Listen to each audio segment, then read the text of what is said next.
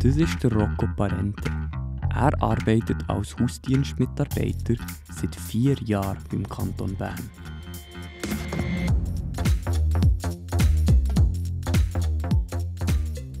Hallo Rocco, schön bist du da. Du hast einen Gegenstand mitgebracht.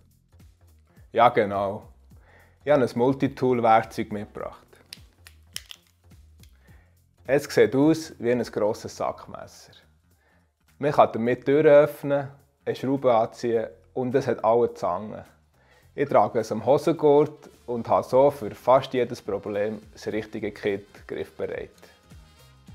Rocco, wieso ist der Job der richtige für dich?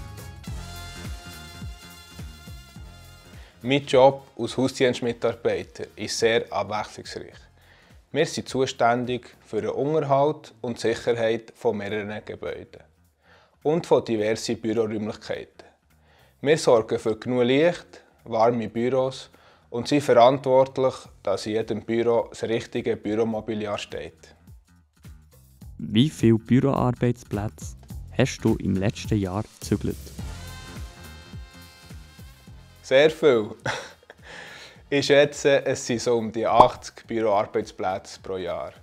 Egal wie gross der Umzug war oder wie kurzfristig er durchgeführt wurde, bis jetzt haben alle Mitarbeitenden rechtzeitig am Arbeitsplatz weiterarbeiten Wir arbeiten eng mit dem KAJO zusammen.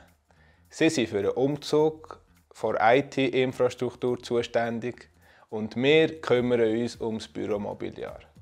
Es ist eine sehr dankbare Aufgabe. Die Wertschätzung der Mitarbeitenden ist immer spürbar.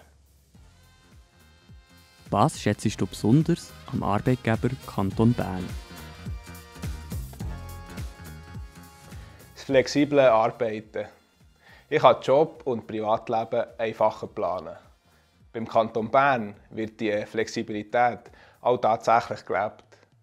Ich spüre eine grosse Wertschätzung von meinem Arbeitgeber. Und ich muss kein schlechtes Gewissen haben, wenn ich kurzfristig die Betreuung meiner Kinder übernehmen muss.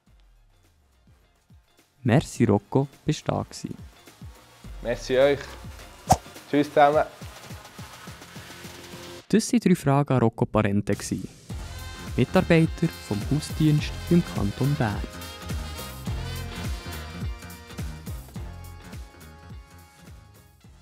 Sie sind... Sorry. Ah, nein, ist nicht gut.